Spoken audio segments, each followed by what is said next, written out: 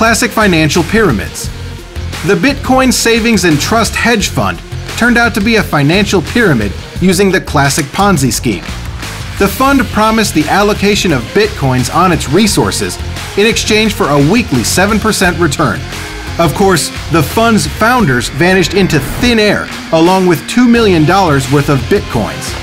Attacks on crypto exchanges by hackers.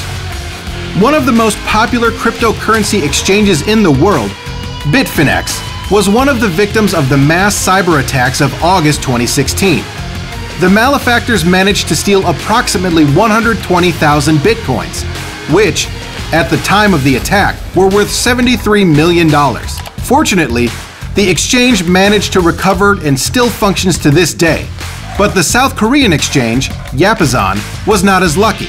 The loss of 4,000 bitcoins in April 2017 led to the exchange's bankruptcy, despite desperate attempts to save it. Phishing the year 2017 was commemorated by the emergence of spamware that steals money from bank clients. The Hustler's system is quite simple. An email notification from a prominent bank arrives to a client's email address with information on network payments, but the attachment includes fraudulent software that transfers money to the hustler's Swift addresses, fake cloud mining. Cloud mining is not considered fraudulent by itself, but it is important to thoroughly vet your partners. HashInvest, HashPoke, ByteMiner, Cointellect, HashOcean, Gawminers. These are the names of once popular cloud mining resources that turned out to be fraudulent. Secret mining. Recently, cybersecurity specialists discovered a malicious virus called Proteus, which can mine various types of cryptocurrencies without the user's consent.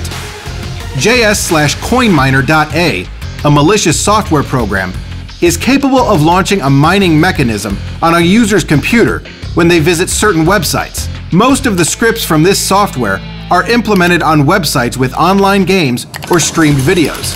In this case, users often don't pay much attention to the increased CPU usage, which malefactors take advantage of. One of the most prominent scandals this year was the use of such programs by the owners of the Pirate Bay.